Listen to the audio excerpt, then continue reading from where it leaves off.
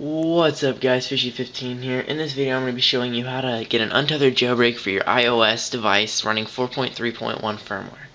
So we're going to be using Redsn0w um, 9.6 RC12 I believe.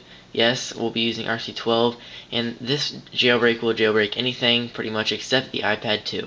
So the iPhone 3GS, iPhone 4 GSM, the iPod Touch 3rd generation and the 4th generation, the iPad 1, and the Apple TV 2G.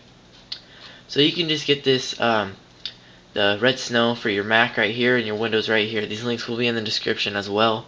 So I'm just on the iPhone Dev Team blog. You can find everything you need to know right here. So after you download that, you'll need to download the 4.3.1 firmware for your device. I'll be jailbreaking my iPod Touch 4th generation right here. And this is on 4.3.1, so you need to get that firmware, and you'll need to open up Redsn0w first of all. So I'll show you guys, I am running 4.3.1. I'm just going to go general about, right here you can see 4.3.1. So now that you guys see that, you can just go browse, and you can browse for your iPod 4, 4.3.1, or whatever your firmware is for your IPSW. So right here, you'll just need to process your firmware and pretty much find that and make sure you're actually running that firmware.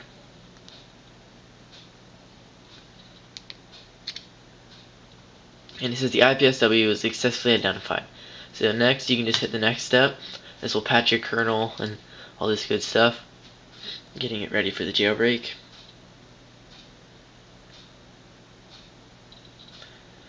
And right here, all you need to do is pretty much install Cydia, so just check that. You can uncheck everything else if you want, unless you know what you're doing down here. If you want like boot animations, you can have that. And Oh, all that stuff. I don't think I'm going to do that right now. You can enable battery percentage, so you can have a battery with the numbers up by your battery, but I don't need to do that either. I'll just install Cydia for you guys. So I'm going to go ahead and hit next. And this is just basically telling you that you need to be turned off and plugged in. So first off, if it's not off, you need to plug in the device first. As you can see, mine is plugged in, and we'll need to power off our device. So you can just go ahead and hold the power button, slide to power off. This next step is going to be a little bit tricky if you guys are new jailbreakers. Then this is just steps just going to um, allow you to put your device in DFU mode and actually jailbreak the device. So you're going to need to hold the power button for like 3 seconds and then hold the home button and release the power button. Continue holding the home button. It's really simple actually, but it's kind of confusing if you're a first timer. So first off, we're just going to go hit next. Hold the power button for 3 seconds. Without releasing the power button, continue holding that and push the home button for 10.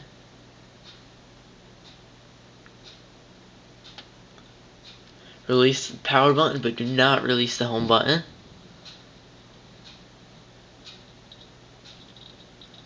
And it is jailbreaking. And it's going to be using the limera1n exploit, which will tell you right there on the screen. It's uploading the first stage. You can go ahead and release the home button whenever now.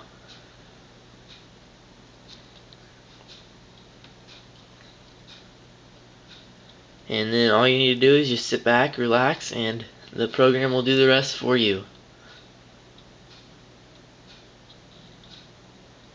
So now it's just waiting for the reboot and should just do all this stuff.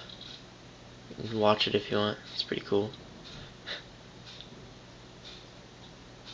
And now it is done, and the rest of the uh, process will take uh, part on your device. You don't even need Redsn0w anymore. You can go ahead and hit finish right here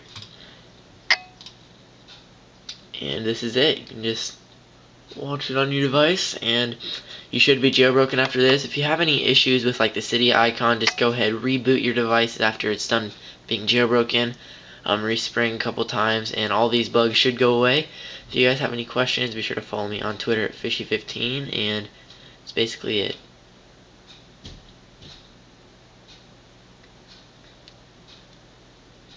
I'll come back to you guys after this is done Alright guys, now your device should be booting up here. You'll get the Apple logo. After it's booted up, you can go ahead and slide to unlock, and you should have Cydia. And it will be the regular icon. Well, it should be right there. So you can go ahead and tap on that, and it'll prepare the file systems, and Cydia will exit when complete. And now you guys are jailbroken. So if this video helped you, be sure to give a thumbs up right down there. Be sure to subscribe up there. Follow me on Twitter. If you guys have any questions, comment below. Comments, questions, concerns, all that good stuff. And I will catch you guys in my next video. Peace.